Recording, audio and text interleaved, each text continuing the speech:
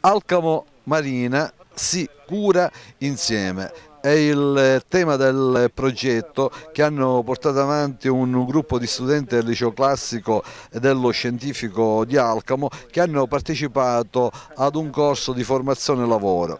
La loro eh, assistenza è stata data dall'Istituto Nazionale di Bia Architettura, sezione provinciale di Trapani. Stamane i ragazzi ad Alcamo Marina hanno raccolto dei rifiuti, hanno eh, ripulito tratti di spiaggia, hanno sensibilizzato le persone persone a mantenere pulito il litorale. Salvatore, come nasce questa iniziativa? Eh, l'iniziativa nasce da loro, cioè in una delle tante discussioni che facciamo insieme in associazione ho chiesto ai ragazzi, abbiamo cercato insieme di capire quali erano le criticità.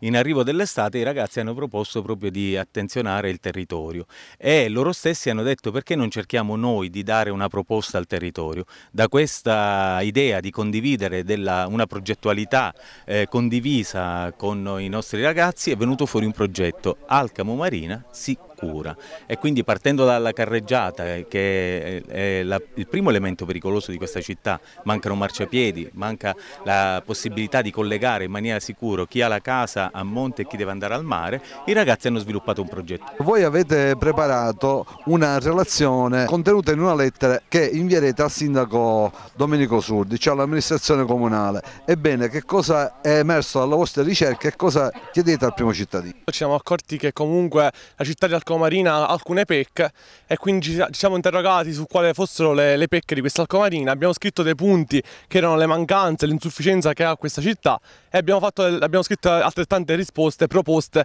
che vorremmo fare vedere al sindaco e speriamo che qualcuna di queste ce l'accettano per rendere migliore questa città che a noi è tanto cara. Elencami un problema che avete sollevato e che proporrete agli amministratori comunali. Uno dei problemi può essere la mancanza di marciapiedi eh, per i pedoni quando, oppure la mancanza di sufficienti sottopassaggi che ci permettono di attraversare per giungere in spiaggia.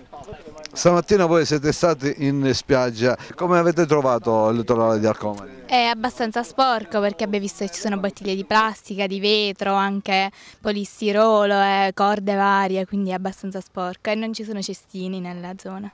Che cosa avete detto alle persone che si trovano in spiaggia, con, i, con, le quali avete avuto dei colloqui? Abbiamo chiesto alle persone da adesso in poi stare più attenti magari a quello che fanno in spiaggia alle, e di comunque eh, stare attenti a non sporcare il territorio in cui vivono perché appunto una plastica, uh, buttare una plastica per, per in spiaggia appunto poi va a mare e danneggia comunque tutto, tutto, tutto l'ambiente e quindi abbiamo cercato di eh, far nascere nelle persone appunto una, una sorta di, ehm, di sensibilizzare le persone appunto a rispettare il territorio in cui vivono. Nel progetto che state portando avanti stamane ci sono anche dei self dove voi praticamente farete testimonial ad una campagna promozionale su Alcamo Marino? Principalmente in eh, questi uh, selfie diciamo, eh, il nostro obiettivo è appunto quello di sensibilizzare a non sporcare ulteriormente la spiaggia più di quanto già uh, è sporca e di fare in modo di non gettare più i rifiuti nella spiaggia ma più che altro nei, nei cestini. Tutti abbiamo collaborato a creare,